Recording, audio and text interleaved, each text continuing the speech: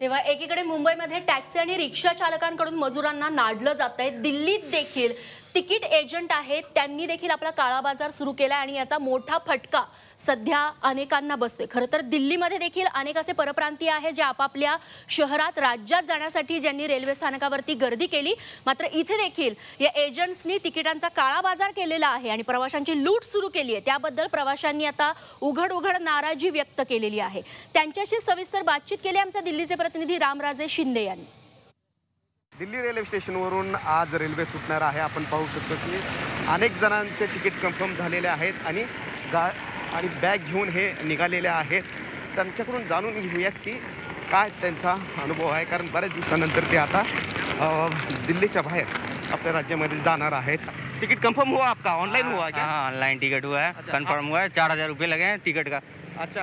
क्यों? तो फिर ये चार हज़ार रुपये लिए है। आपको क्या लगता है कि कम है या या फिर घर जाने के लिए ठीक ठाक है रेट अरे घर जाने के लिए तो बहुत ही है। हाँ तो दो महीने से बंद है ना तो दो महीने से बैठे हैं रूम रेंट किराया कहाँ से आएगा? अच्छा। खुराकी का पैसा कहाँ से आएगा? जब कमाएँगे नहीं तो खाएँगे कहाँ से यहाँ? अच्छा। किराया मांगा था घर मालिक ने? हाँ, मालिक ने किराया मांग रहा है ना। अच्छा। दे दिया किराया आपने किराया कहाँ दिया? उसको अभी तो किराया नहीं दिया लेकिन देना तो पड़ेगा ना। अभी घर से जाकर भेजेंगे बोले हैं कि जाएँगे तो भेजेंगे उधर से। आपने ऑनलाइन टिकट खुद बुक नहीं किया था?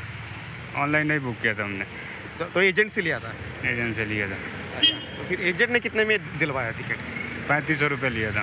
पैंतीस सौ रुपये लिया था। टिकट कितने का था? टिकट तो पंद्रह सौ का था।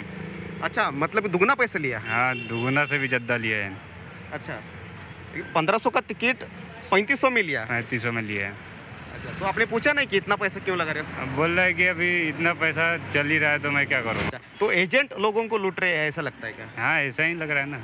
अच्छा और दूसरा रास्ता भी नहीं है आपके पास? कौन रास्ता है? क्या रास्ता है? अच्छा लेकिन सरकार ने तो कहा था कि वेबसाइट सिक्योर है और आप डायरेक्टली जाकर बुक करो तो एजेंट के पास कैसे जा डायरेक्टली जाने से ओपन ही नहीं हो रहा था हमारे से तो कैसे ओपन करेंगे हम लोग? वो छः बजे का टाइम दिया छः बजे ओपन कर रहे थे ओपन नहीं हो रहा था। पंद्रह सौ का टिकट साढ़े तीन हज़ार को। बाकी अपने दोस्त जो है उनको भी ऐसे ही टिकट सबका ऐसा ही टिकट बना है। अच्छा आपके जो दोस्त है रिश्तेदार है उनमें कोई खुद से टिकट बुक किया ऐसा कोई जानकारी है क्या आपकी? नहीं। नाही? सब एजंट से ही लिए? सब एजेंट से ही लिया है जवळपास दुप्पटपेक्षा जास्त दीड हजाराचं तिकीट साडेतीन हज़ार रुपयाला दिलं जात आहे. आणि म्हणूनच हा तिकिटांचा काळा बाज़ार कुठेतरी सुरू असल्याचं स्पष्टपणे दिसतंय. परंतु तरीसुद्धा लोक आनंदी आहेत कारण आपल्या घरी जायला त्यांना संधी मिळते. Cameraman Pawan sir Ramraj Shinde Zee media Delhi.